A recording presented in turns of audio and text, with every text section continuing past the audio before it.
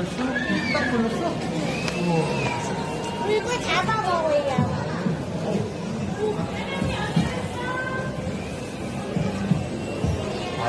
제발 들어가 들어가.